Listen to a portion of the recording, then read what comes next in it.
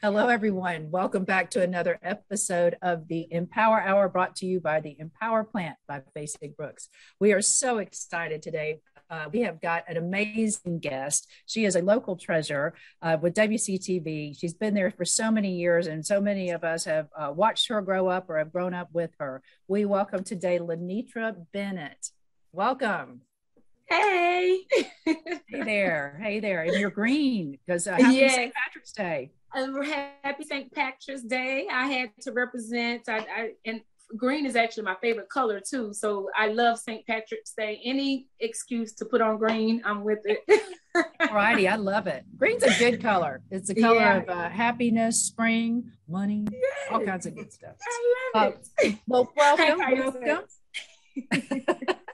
I want to go around and introduce our panel real quick. We have got Khia Thomas back, our PR director. Hey, Khia. Hey, everyone. we have got Betsy Brown, our newest uh, law partner. She's back today. Hey guys, yeah. happy St. Patrick's Day. Now, what is it with you and the Irish? You got anything to do with that personally? Oh yeah, I'm like um, 80% Irish or something like that. It's crazy. Wow. Yeah. Oh, and I love it. It's like my favorite day of the year.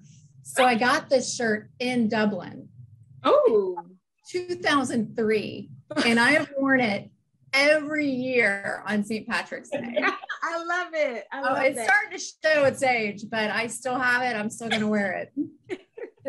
I love it. Well, hey, it speaks well to you that it, uh, it still fits you. That's great. Mm-hmm. So not quite you. the same, but yeah.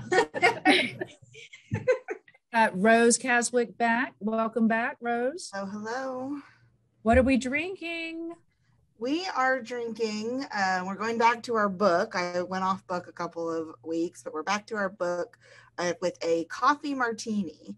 Uh, we didn't have any martini glasses, so this is what we've got. But it's in honor of Christiane Amanpour, since we're talking about journalists and, and women in the news. So wonderful, wonderful. Not exactly now, Irish what is coffee, in this? but it'll do. Hmm? Am I detecting Guinness? What's in this? No, it's um, it's Kahlua and vodka and coffee, espresso. Oh, mm-hmm. wonderful. No, I thought it was some kind of Guinnessy thing because of. No, Irish, it's not okay. quite Irish coffee, unfortunately.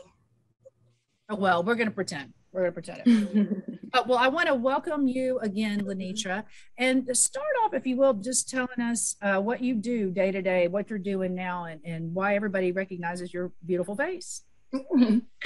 well, thank you. I am uh, the anchor, co-anchor of WCTV's Good Morning Show and Eyewitness News at noon. So um, our morning show starts at 5 a.m., even though I have to be there at 3:30 a.m. Yes, very early in the morning.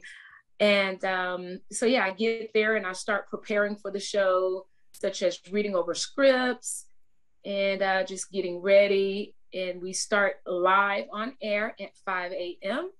and it airs until 7. And we also do the Fox 49 morning news as well. So that airs on the Fox channel from 7 to 8.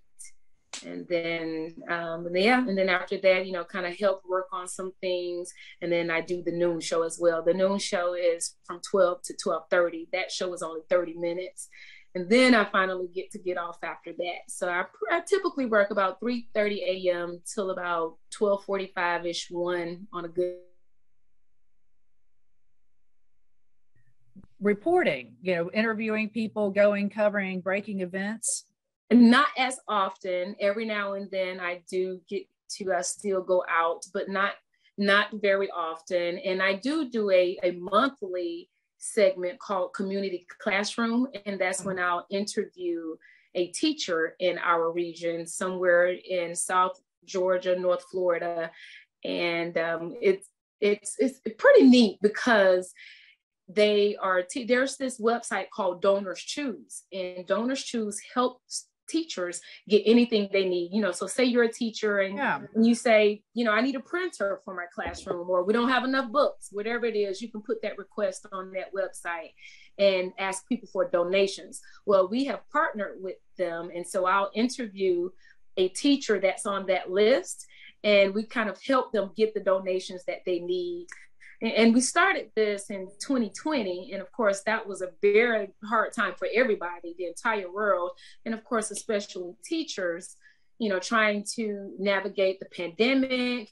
And and we've heard the stories before. It's already difficult uh, being a teacher anyway and having materials and getting what you need sometimes.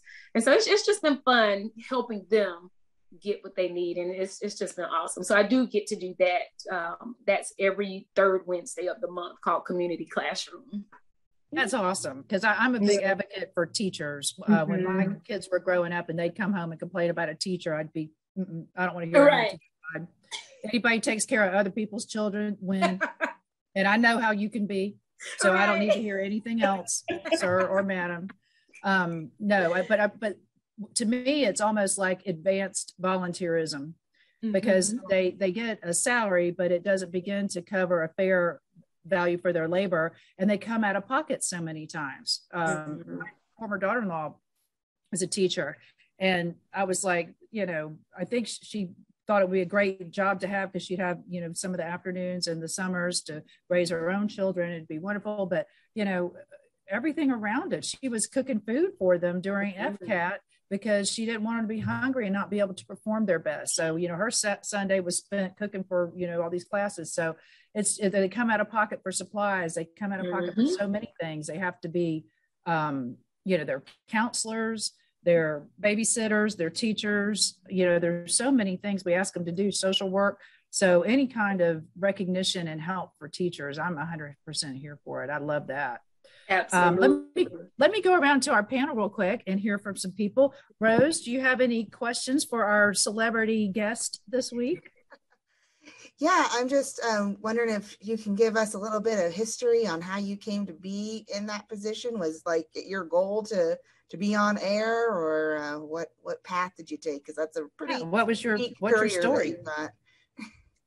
yeah, well, I started out in the background. I was an associate producer and it was 2001.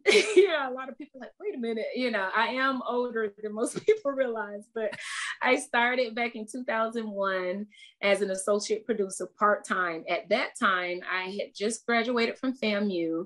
I graduated in 2000 and I didn't get the job there until 2001. And I was still working on FAMU's campus and the Instructional Media Center, as well as Publix. I had started working at mm-hmm. Publix in high school. So I was still holding on to those two jobs since WCTV was only part time at the time. And my ultimate goal was to be on air. But I just w- needed to get my foot in any kind of way I could. So I, I took that part time job as an associate producer. And the associate producer was the one that just kind of helped out with certain things. It helped out with the editing and so forth. And then when I became uh, full time as a full time AP, this was back when we still were on tapes. So I was the one in charge of every single story that you saw on television. It was on a tape, and I had to put that tape in a deck. If I didn't put that tape in a deck, you wouldn't see it on the news. so that was a very important job. Oh man, it was very important and it could be stressful because if I didn't do it right, it was, you know, it was pretty cool. So anyway, I did that for about a year and then I became the producer of our 10 p.m. show. Um, you know, I mentioned Fox earlier. We have the Fox 49 morning news, and we also do the Fox at 10 p.m.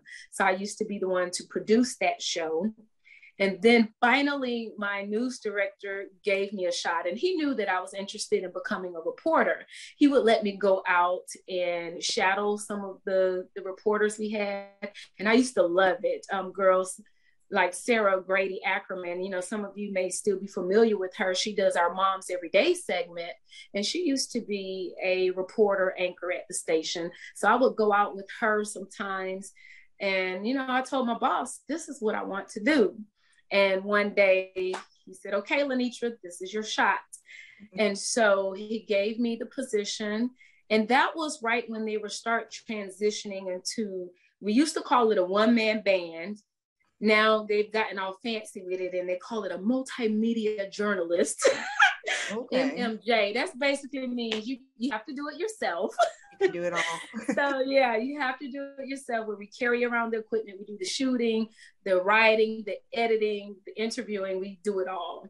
So I was one of the first ones. Actually, I was probably the, the first one to be full time in that one man band position. And um, and I, I loved it, you know. So I, I moved from producing to reporting. I was originally assigned to our outskirts, um, mm-hmm. Taylor, Lafayette, to Suwannee counties were my assignment. I used to have to drive to those areas every single day, back and forth, covering stories there. Um, it was tough, but I loved it. I love yeah. it. So yeah, so that's how I started. I reported for years, and then as you know now, I am the uh, co-anchor of the Good Morning Show, and and that was a goal of mine too to become an anchor. Even though I was borderline with it, because I loved being out in the community, and mm-hmm. even though it was rough carrying that equipment around and just being outside, whether it was 100 degrees outside, 20 degrees outside, regardless, raining, I had to be out there. That was tough, but I loved the people. And I loved meeting new people and learning new things. And that's what was so exciting about it. So I would tell myself, eh, I don't know about the anchoring thing. That's not me to just be sitting inside all the time. You know, and I was like, I don't, I'm not sure. So there were a few positions that opened up, and I never really went for it until recently. So um, I've been doing this. It's been over a little, little over two years now, and I do love it. I do. I love it. Well, you're very good at it. Thank you. Thank you. Um, now, what what's your undergraduate degree in? Broadcast journalism. So you were always kind of wanting yeah. this path. Mm-hmm. Okay. Yeah, I went to specifically. When? Yeah, tell me how. Yeah, I um, I always loved it, and I was always interested in the field. And um, once I realized that there was a degree for that, and once I saw, you know, some of the people that I admired on TV, and finally got enough courage to realize, hey, I can do this this is something that I can do. And so I went for it. And, and I always wanted to go to FAMU anyway. Uh, born and raised, I, I grew up in Tallahassee. And I was just one of those people that didn't leave. And I didn't want to. That's why I didn't leave. You know, I grew up just loving FAMU everything. So I already knew that that was the college I was going to. And then to find out that they had an award winning um, journalism program then I was like, wow. And, and I really I learned that there's a difference, you know, when you talk about journalism program, they specifically um, hone in on that. It's not general it's not just mass communications or you know just something that's really broad and at famu it, it, breaks down you have broadcast journalism magazine journalism newspaper journalism um, graphic arts and marketing all of those things and so i I was like, wow, I'm obviously in the right place. Let's do it. I love that. We're very uh, fortunate. Our um, Empower Plant, uh, Empower Hour, and our uh, Come Back Stronger shows are produced by a very talented man that we have been lucky enough to have with us. And he ran a newspaper, Soup to Nuts, mm-hmm. you know, reporting everything about it. Um, so mm-hmm. we're, we're, I appreciate that knowledge because I don't have any background in that. And so mm-hmm. you, to see what the behind the scenes, I really appreciate and respect what you all do so much more, uh, having learned about it. Uh, Betsy, what about you? What are your what are your thoughts, comments, and questions for our guest, Lanetra Bennett? Yeah, so I I was wondering, um, do people recognize you around town? And yeah. if so, do you feel like the pressure to always be on in case you run into one of your fans? Yes, she does. I, yes, yeah. and yes. yes, yes, yes, yes. And to be honest, it still feels weird. Um, I've been on air, like I said, since about 2004. You know, even with the reporting, people recognized me. And, you know, even now, and I don't mind it, but I still feel like I'm, I'm weird about it. You know, there are t- I don't know how to do it sometimes. Like if I I can hear someone talking, you know, whispering behind me, behind my back, you know, and sometimes I'm like, okay, would I embarrass them if I turn around and say, "Hey, I hear you"? should I wait for them to approach me? You know, and, and so sometimes I feel guilty if I don't approach them. I, you know, because I, I, you know, I'm thinking, okay, I'll wait for them. I don't want to embarrass them. So I'll wait for them to approach me. But then sometimes they never would. And then I'll feel bad. And I'm like, oh, maybe I should have said something. They probably would, were afraid to say something. And so yeah. I should have said something. And so it, I just feel so awkward about it. But I, I absolutely do not mind when people approach me you know and it's so funny the ones that are very open and vocal about it they are hilarious you know people will call my name and because i'm from here and worked at publix and you know have a big family and sometimes i'm like okay do they know me from tv or do they know me? Because yeah. people will call my name as if they actually know me and they go hey Lanetra and i'm like hey. I'm like, oh yeah. my gosh is this my mama cousin that, that is that is weird. You, you probably never take 11 items to the 10 item checkout. oh, no, yeah. Yeah, I do try to watch my P's and Q's. And, and it's funny because uh, my mom has to remind me of that sometimes, to, to be honest. I, I, have the same I'm concentrating real hard or, you know, just my rest. Everyone knows I love to laugh, but when I'm not smiling, my face does this other weird thing where it may look like I'm frowning. And so my mom's like, Stop it, you look like you're frowning. I'm like, Oh, sorry, you know. It's like, oh, yeah, I guess people may be watching, they may think I'm mean, you know. But anyone who comes up to me and speak to me, they they know I'm not mean. And I think I surprise them sometimes. I'm I'm probably more down to earth than they may realize. And yeah. um, you know, you know, but that's just my down. I can't help it. That's it's my down home. And I actually told myself I would try to behave with you all. I'm like, oh, I'm gonna be talking to lawyers today. I gotta try to be proper. But I, you know, I just have to be my down home self. So you have to forgive me if I laugh and you know, kiki or whatever, get too comfortable with you. I can't help it. It's me. you can't get too comfortable here. But Betsy, you better get ready for it, lady. Yeah. You, you know, you put your face on a bus and all these billboards and TV and mm-hmm. stuff like mm-hmm. that um, and people do treat you differently. Yeah, it's a perceptible difference. I don't know, Rose. Do you ever experience that at all? Uh, every once in a while, I get recognized. It's not super, super often, but I also don't, you know, talk to people super, super often if I can avoid I also it. don't um, engage with humans. Yeah, but uh, I have been recognized, and it is always jarring when it happens. Mm-hmm. So. What's What's jarring to me is when somebody will say, um, "Oh, hey, Dana," and then you go, "Oh God, who is that? Why don't I remember them?" And you're like, "I'm face realize, as it is." I'm like, I you know, that.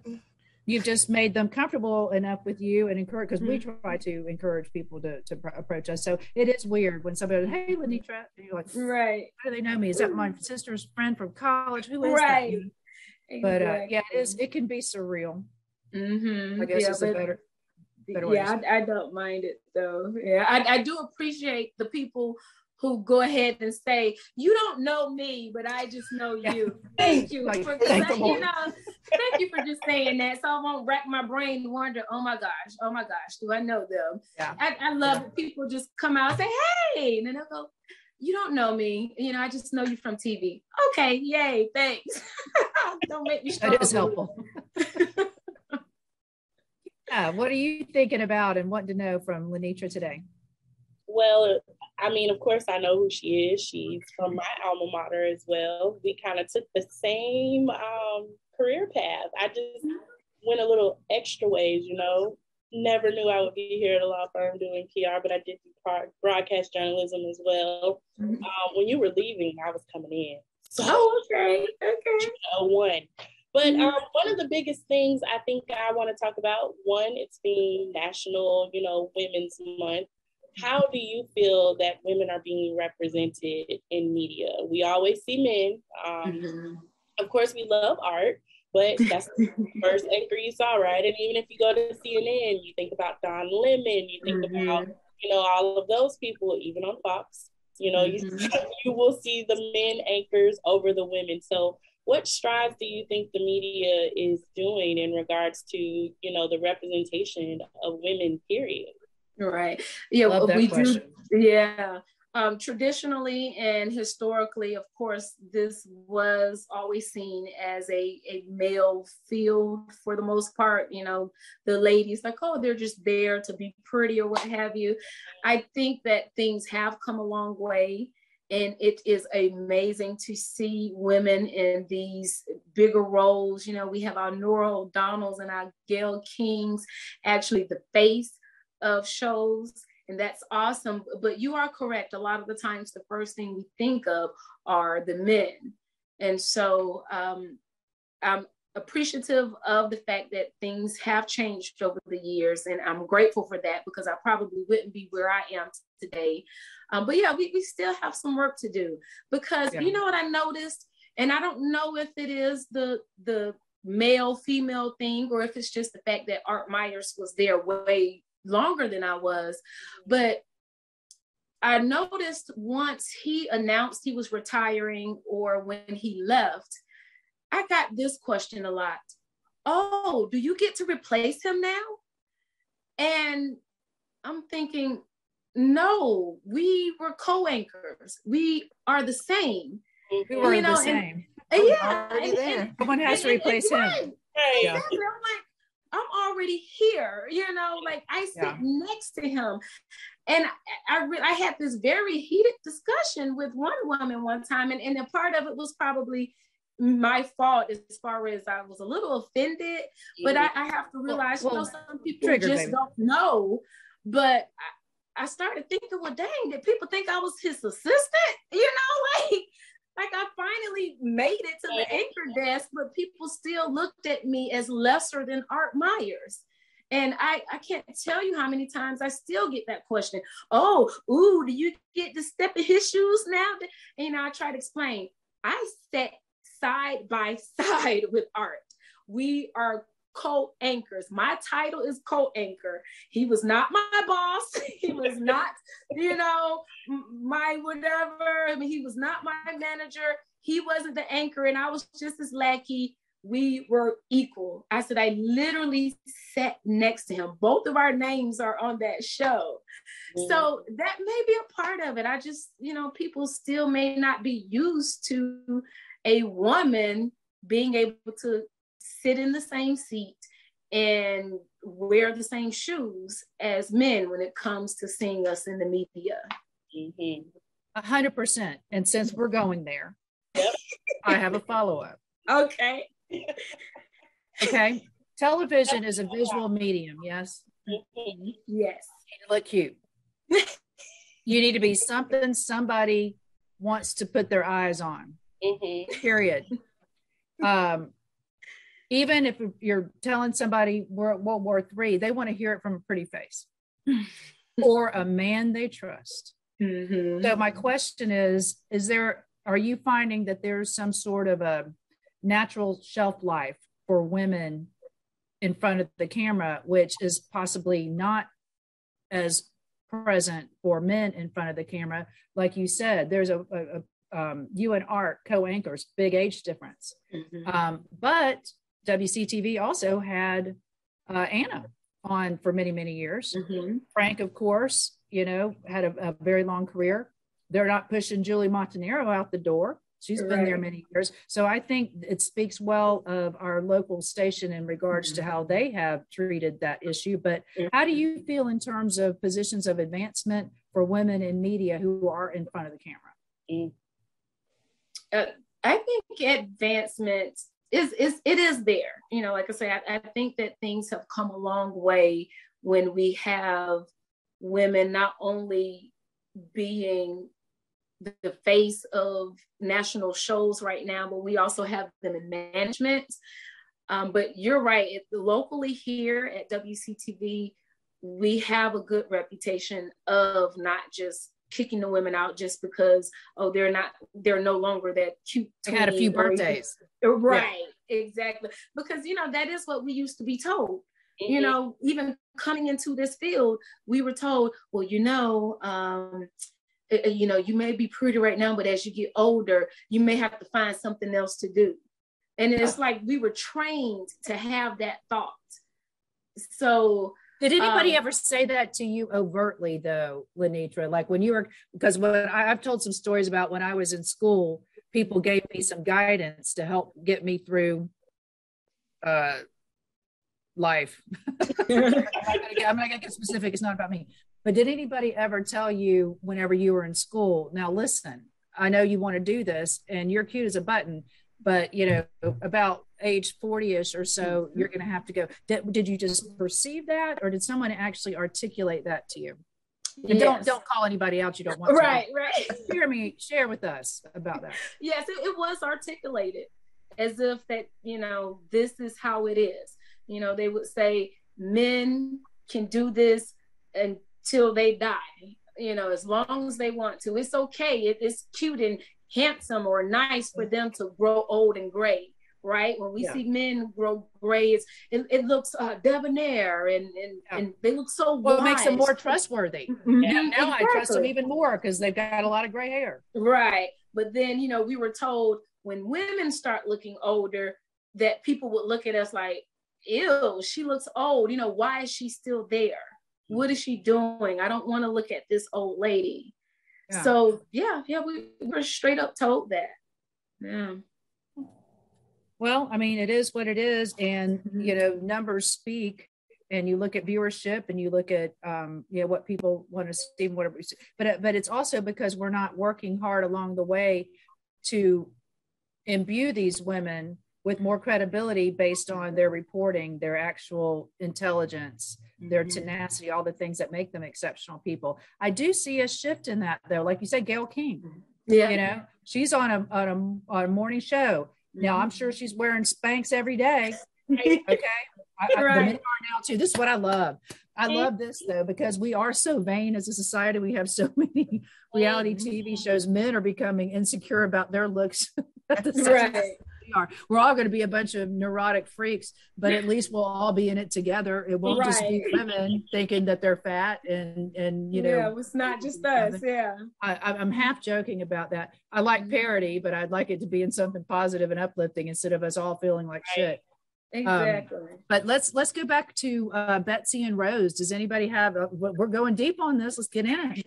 Yeah, I ahead, I do if you don't mind. Um, Lanetra, have you seen show, The Morning Show on Apple TV? No, I wish. I oh, had. girl, it is so good. It is one of my favorite shows that I've seen. To watch it.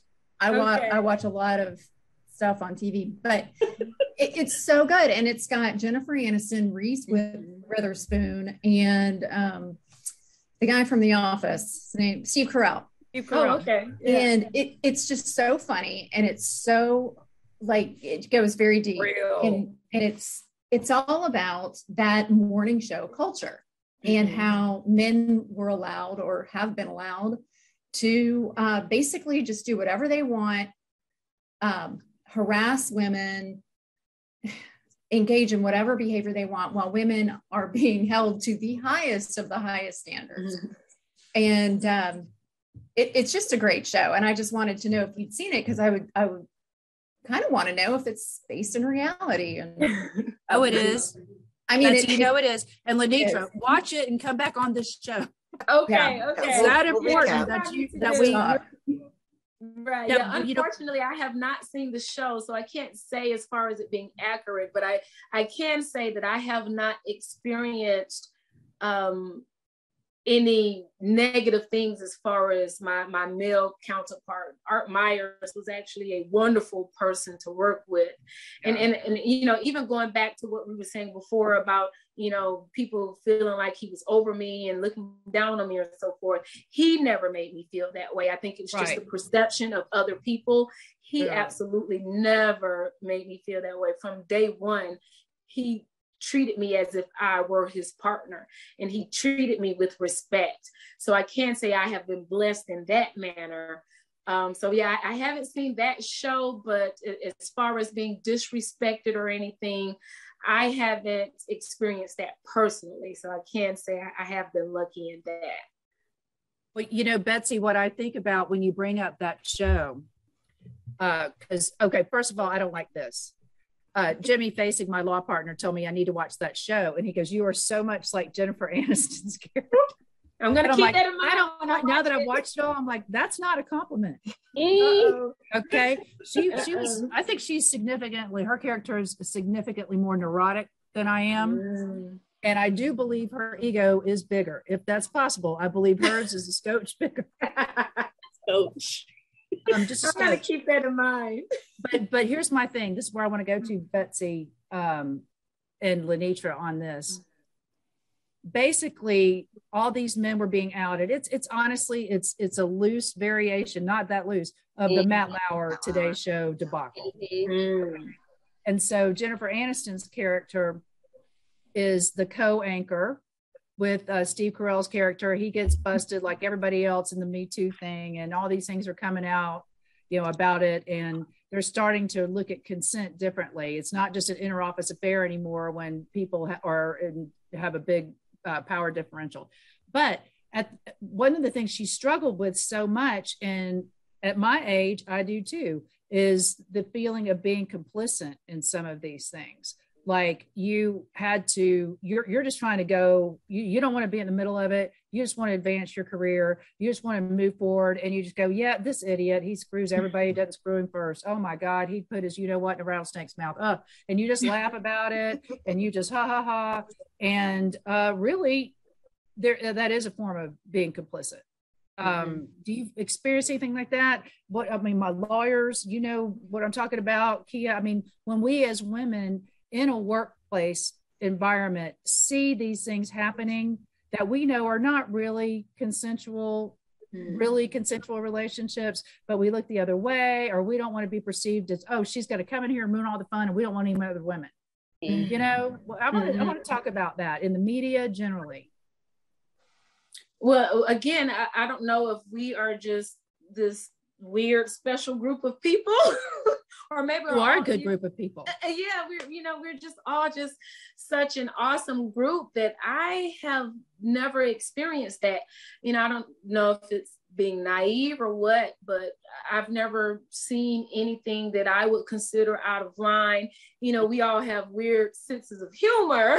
Yeah. you know, as far as you know, just you know, we love to laugh at you know weird things but um as far as sexual harassment or anything along those lines. I've never yeah. seen it.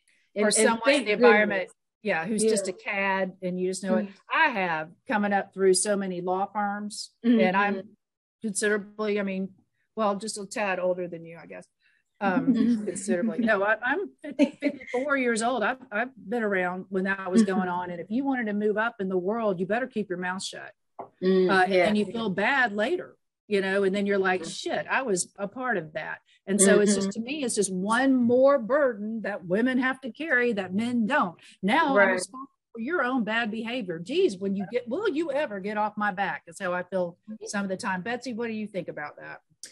Well, I think the moral dilemma is complicated, especially for that particular character, because if she had called him out or called out the things she was doing or he was doing, and I think she had willful blindness, um, yeah. she her career would have tanked too because her career was tied to his career. Yeah. Mm. And if if she took him out, it was going to have a direct effect on her career.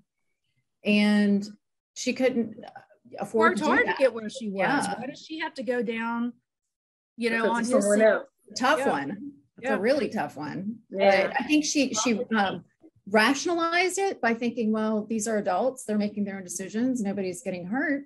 But mm-hmm. you're right. Nobody ever thought about the power differential. Mm-hmm. You don't think about that. And you also don't think about uh, the pioneer aspect, as I describe it, which is when you're the first or one of the first women to get to a certain level, you can't just be a normal person. You right. are representing, you are a spokesperson, you are a leader, and it is up to you to shake things up. And, and a lot of women, a lot of people of color, a lot of people who are the first of anything that's not mm-hmm. you're pretty much a white dude mm-hmm. in America getting anything, they're like, look, man, I'm just trying to, to do my thing. I never right. signed up to be the poster child. I never signed up to be right. a crusader. I just want to do my thing. Why am I now got an extra burden of having to correct your behavior and go down on the ship with you? It's just another boot on the neck of women. And I don't think mm-hmm. it gets enough recognition. And Betsy, you're correct. I think that show really shines a light on it. Wow. wow. I, I, have heard of those things. Wow, that's very interesting. I, I, can see that though being torn and you know, maybe not wanting to rock the boat because it could jeopardize yourself, your career, your life. Wow, that's interesting. Well, it kind of, I think, feeds on the environment. Okay, what kind of environment are we talking about? We're talking about attractive people, smart people who are elevated in status beyond anything any normal person ever experiences. It's just an extraordinary set of events. And then you have to have all these people supporting you in, you know, this fabulous life that you have done. There's no way that doesn't go to your head, make you think you're privileged, make you think rules don't apply to you, and turn, you know, make you take advantage of that power. And whether you're, I don't think that's gender based. I think uh, men have a greater sex drive than the species need uh, uh, needs. I've said that before, but I think that it's a power thing more so than a gender thing. Mm-hmm. Um, but I don't know. I don't know. And, uh, what else does anybody want to talk about Khia? Because I've got some questions, but I don't want to talk with you. I was going to add on to that. That's a whole moral compass type thing.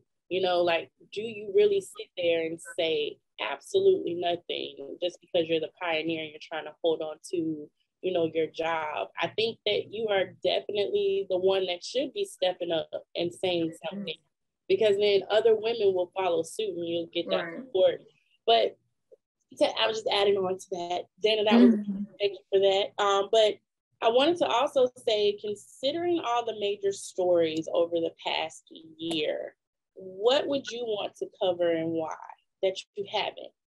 Mm, that I haven't. Um, I love to do more stories of triumph. Um, come back, come back stronger. Yeah. yeah. That's right. Come back. stronger. Show on your on your station. Right. Mm-hmm. exactly. Exactly. yeah, I, I would love to show more of that. Um, I do believe it is important to show the struggles though yeah. there's absolutely nothing wrong with telling those stories and i love telling those stories only because and see and there's a a misconception that a lot of people have when they say, "Oh, well, the media just likes talking about that stuff to exploit people or you know to make people look bad." Well, no, the purpose is to shine a light on those issues so that hopefully something can be done about it.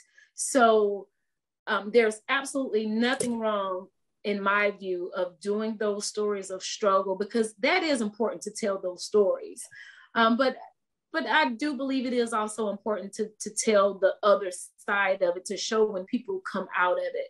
Maybe yeah. show more follow up and say, okay, well, this person, you know, just two years ago, they were here, they were down here. This is how they felt. And now, two years later, look at them now. Right. And to be able to let them show their voice so that the ones who are still down in the valley struggling, they can say, I can be in their place too.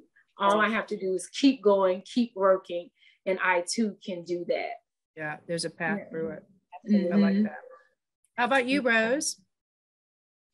Yeah, I mean, I was just like, uh, all the women lawyers here just went to a, a, conference over the weekend where one of the things that stood out to me um, was to not let yourself be a sidekick. So I wanted mm-hmm. to, to, circle back to what you were saying about your co-anchors, you're equal. Um, right. But people just perceive like, mm-hmm.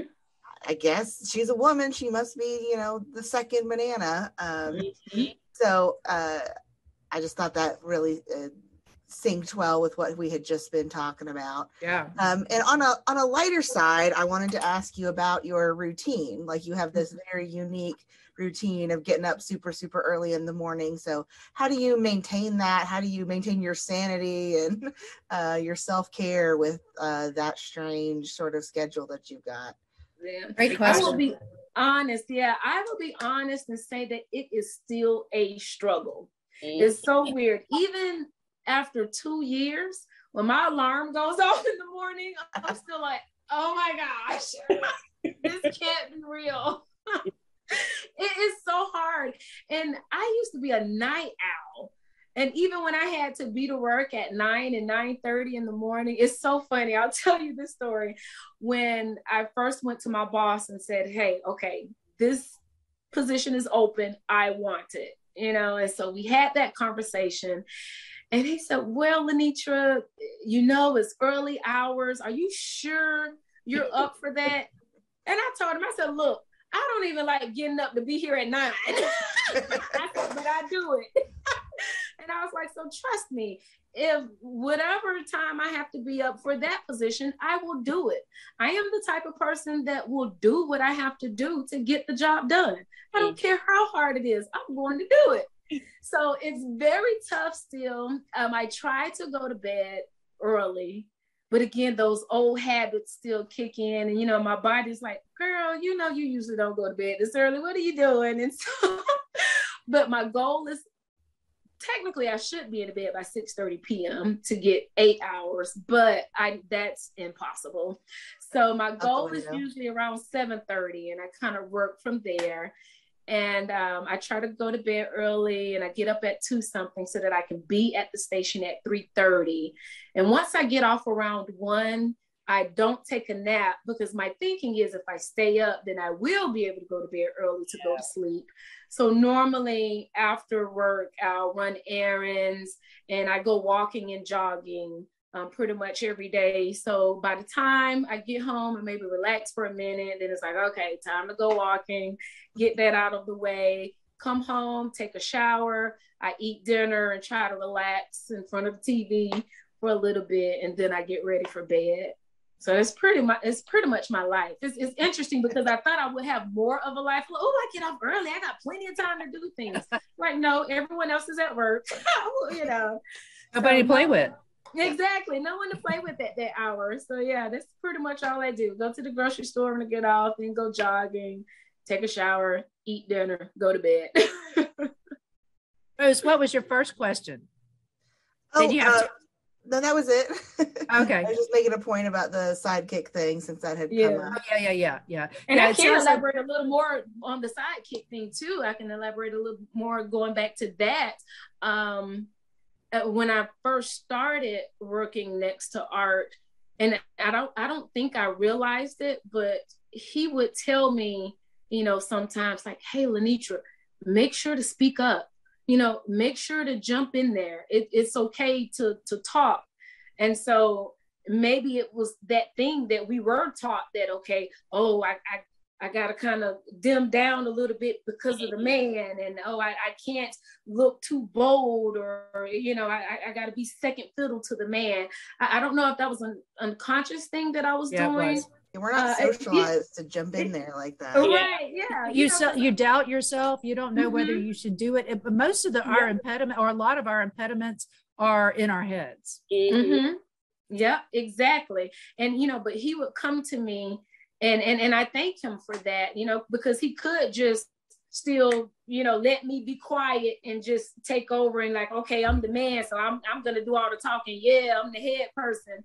but he, he, didn't do that. You know, he'll pull me to the side and say, Lanetra, you know, w- when we're talking back and forth, just jump in there. You know, don't always wait for me to be the one to talk first, or you know, you don't have to just sit there if Rob and I are talking. Jump in there, get in there, yeah. and talk. And I'm like, okay, you know, once he made me realize, first of all, that I, I wasn't doing that, and I was like, oh my gosh, I can't believe that. And, and, you know, and I felt more comfortable being able to take that position and, you know, being a little more forceful and like, yeah, I fit in too. I'm supposed yeah, to be here. That's right. awesome. That's awesome. Uh, does anybody else have any other questions? I have some I want to ask her too. Anybody? Betsy, you got one? Yeah, I do. Um, so, did you work from home during the pandemic? What was the pandemic like for you? Because I remember oh, watching again the Today Show, and mm-hmm. they did work from home for a while. Yeah, they, they did the show from like their living rooms, right when mm-hmm. you at the beginning there. So, what? How did you guys handle that? we um for the most part we did not do that except for art they did allow him to anchor from home um you know to because of his age, to be honest. And, um, you know, he had a wife at home. And so, just to be on the safe side, they let him work remote and I still went into the station. And I didn't mind. I, I really didn't take that as, oh, well, how come he gets to be the one to stay home? Right. it's probably easier to do it from the station because they're already set up for it. Exactly. I didn't have to worry about trying to fiddle with all the technical stuff being at home. You know, it, it was just just normal for me. You know, like I was used to going to work every day anyway. So and I was like, hey, why not still do it? So the pandemic You get was, 30 minutes more sleep. Right. That's true. Now that part you know when i did have to quarantine um actually back in june at the beginning of this year yeah. I did have a point where i had to quarantine. And so i, I did it for the first time where i did anchor remotely. And i, I will have to say that was nice. Roll out of the bed. And like, okay roll out of bed, slap five minutes worth of makeup on. Exactly. That that was nice. Just put my top on and sit there. I, I did enjoy that. I have to be honest.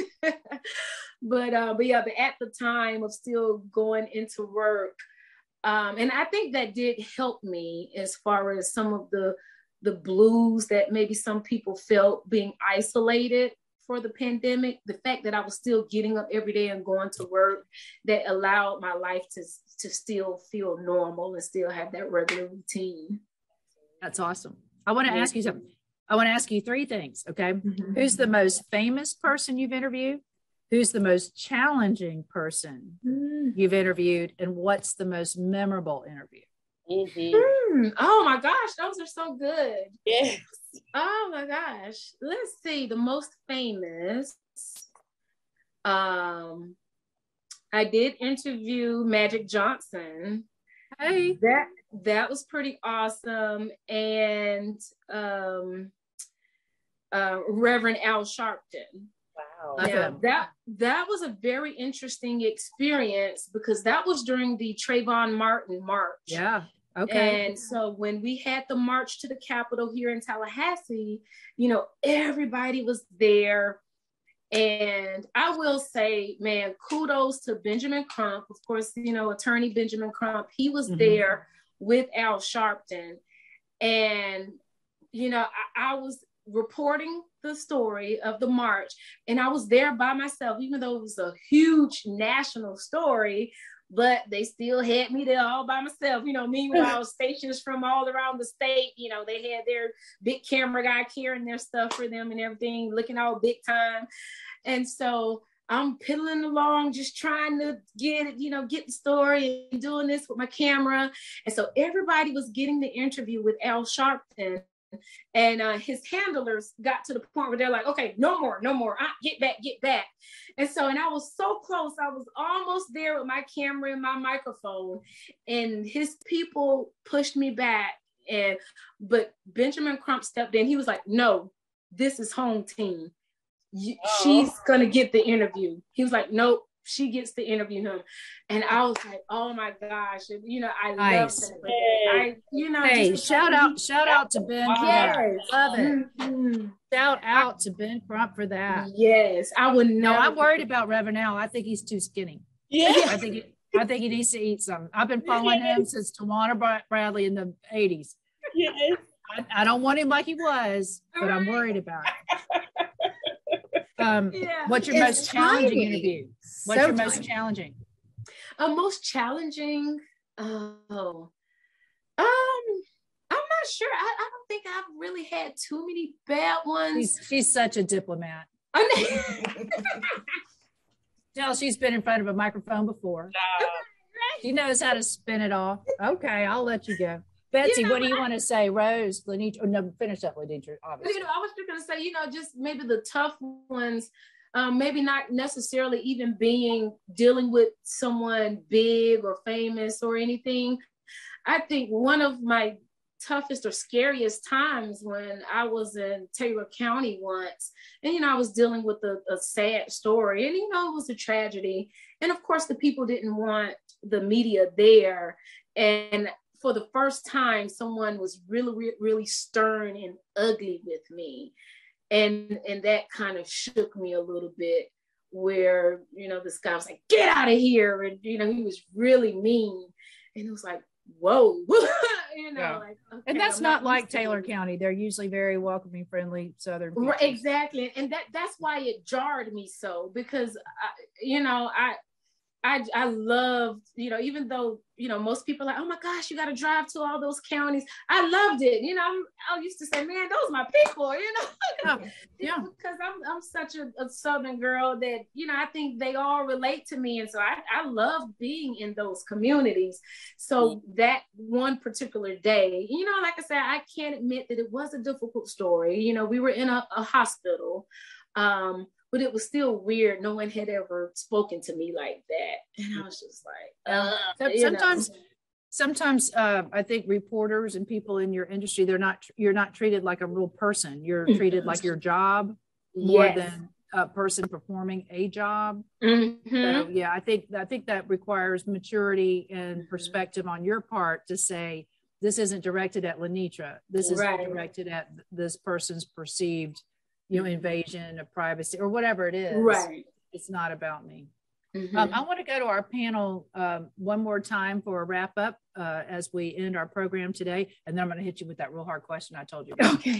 Okay. okay. It's not hard. It's just, it's just, one of those things you're not prepared for. That's why I know it's going to be great. Okay. okay.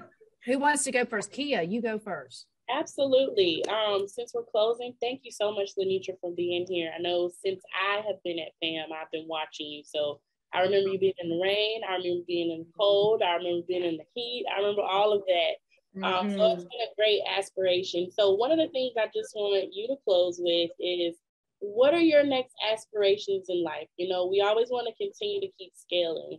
Um, and we talk about that here too. You know, the great thing I really appreciate about being here is that Dana and the rest of the partners here are always talking to us in regards to how we're going to build on our life mm-hmm. from here on out, you know? So, right. what's your next steps in regards to aspiration, and how would you relate that to any woman that's going to be walking in a path, you know, that they're going down, and especially in a career field that you're in that's so dominated by men, and even right. the field of being a lawyer and what have you.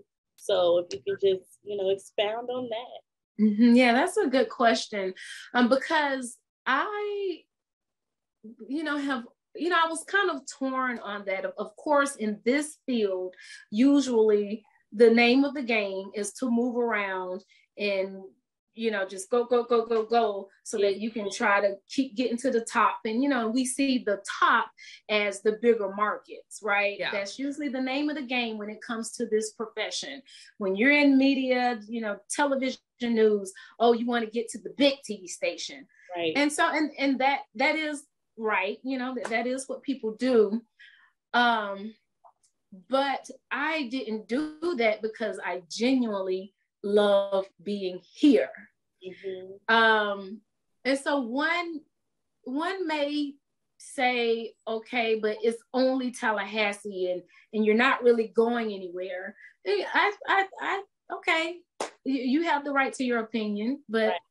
i love what i do. Sorry listen you know it's the capital city of the third most important state in the most important country of the world. Right. Period. Mm-hmm. so you, you know that's a pretty good gig lady. Yeah yeah and so it, it it hurts sometimes you know when it comes to this field you know people because oh since i'm not in atlanta or washington dc or la or miami it's like oh you know okay. But I, i'm i'm good with that um, yeah, as far as being in a big time station, that would be nice and making more money. Yeah, that would be nice.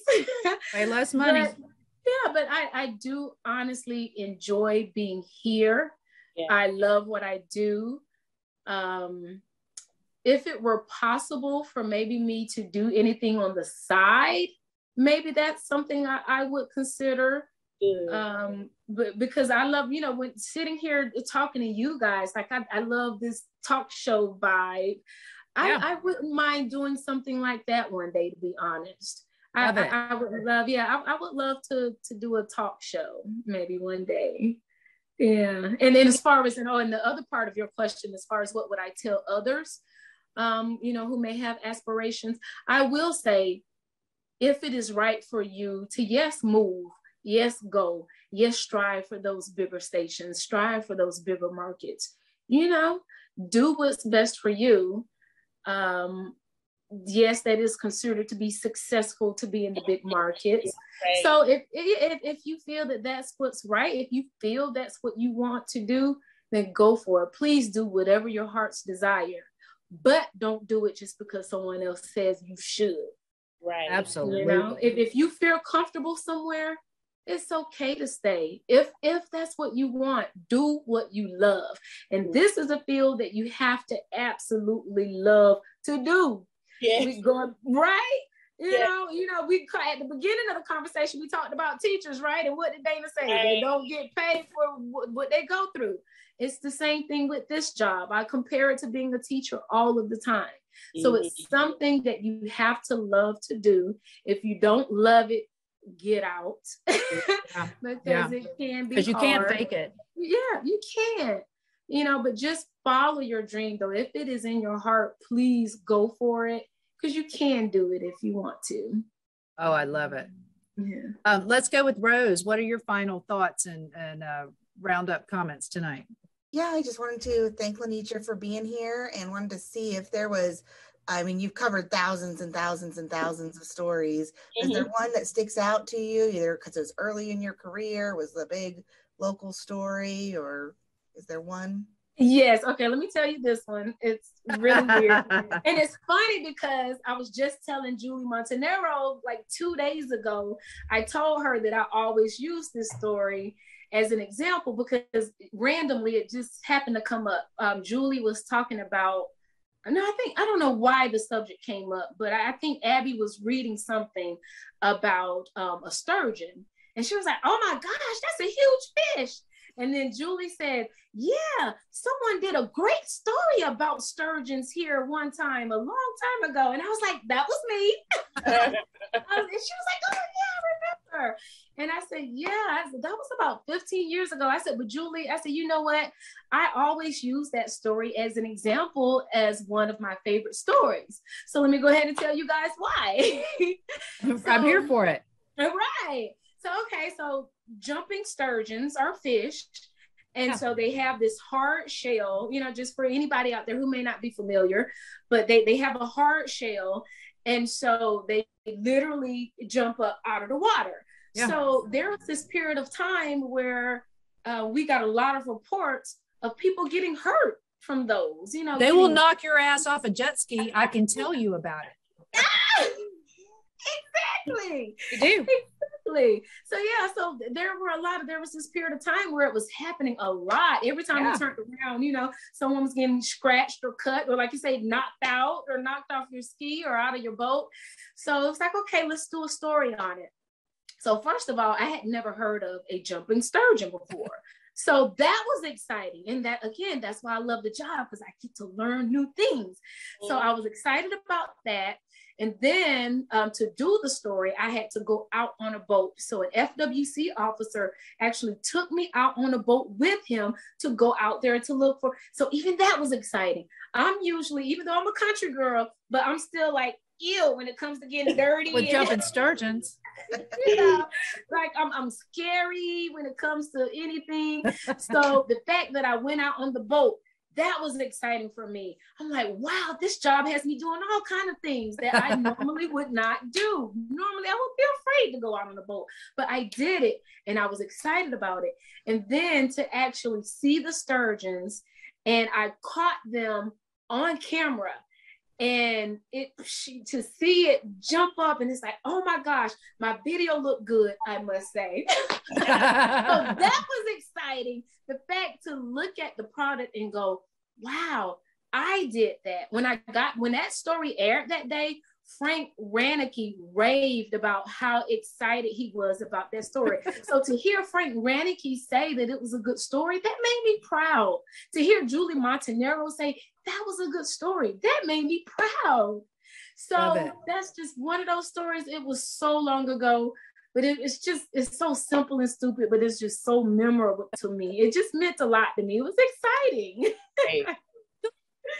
That's cool. That's the kind of thing uh, that's uh, indelible in your life, in your mind. I love it. Betsy, what are your final thoughts and comments in closing today?